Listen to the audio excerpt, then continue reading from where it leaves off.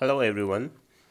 Few days back I uploaded a class regarding properties of synapse and few of the students they have requested to upload the difference between occlusion and subliminal fringe like there was slight confusion so I'll try to explain these two properties occlusion and subliminal fringe by drawing the diagram see first of all synapse it is between afferent and efferent neuron.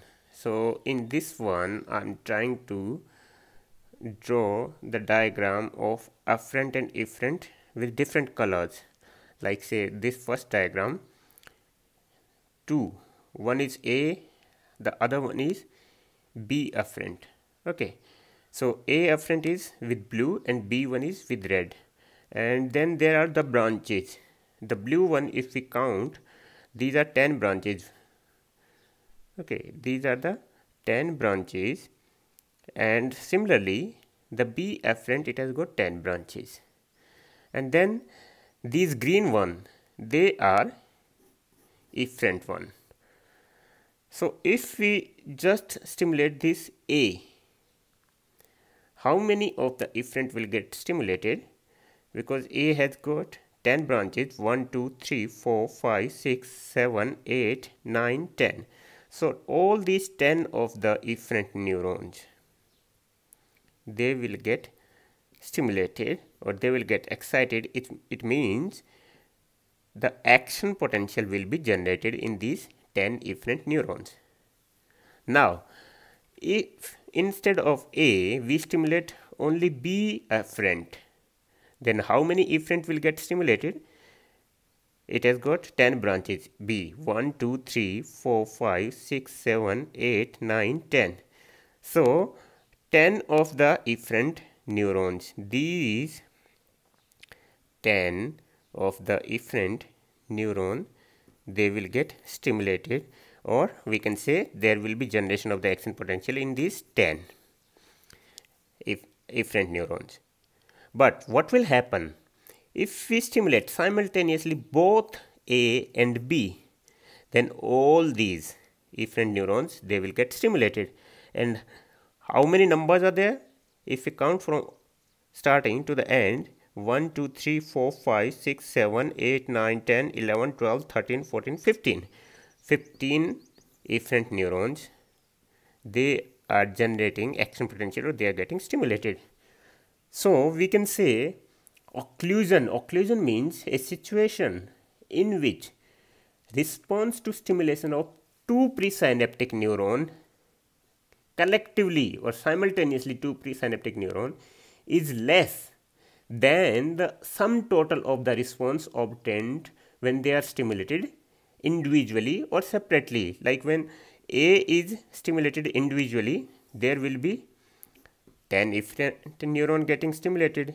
If B is stimulated individually, separate from the A, not A, only B, then also 10 efferent will get stimulated.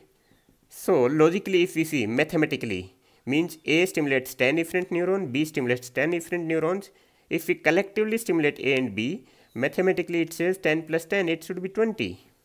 But no, only 15 are getting stimulated. That is called occlusion. What is the reason for that? Reason is these central five branches if we count red one one two three four five or if we count blue one one two three four five these central five branches of a and b they are stimulating the same efferent neuron. This blue and red only one efferent neuron. This blue and red only one. Similarly these five so we can say there is overlapping of afferent neurons, overlapping of afferent neurons in the central distribution.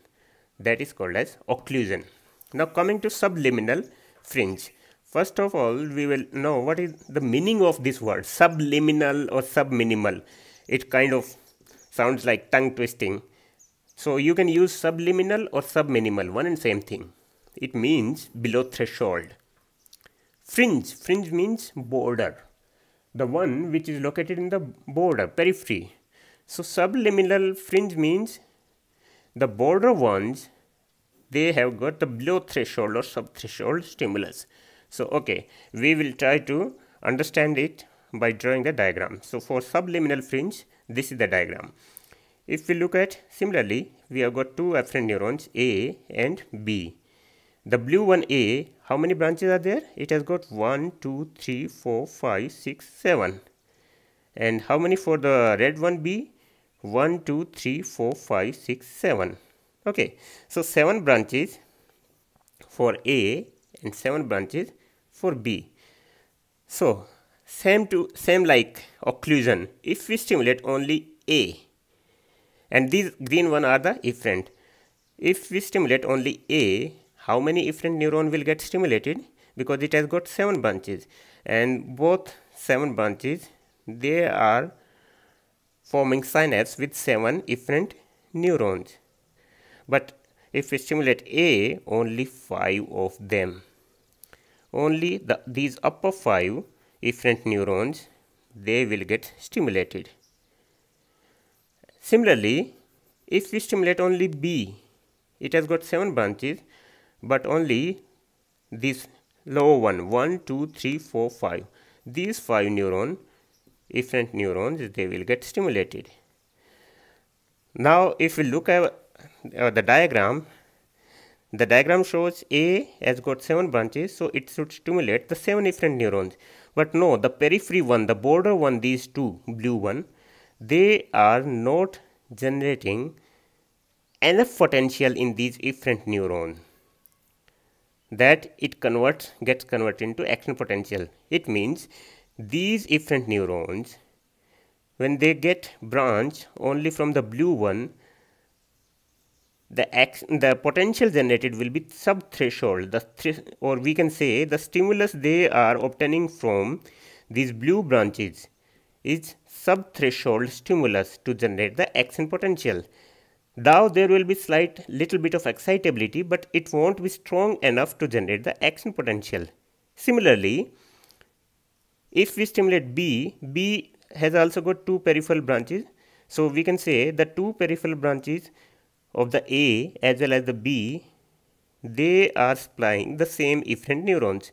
So if we just stimulate B, not A, only B, then also these peripheral branches of the B, they will not provide enough stimulus to generate action potential in these two subthreshold.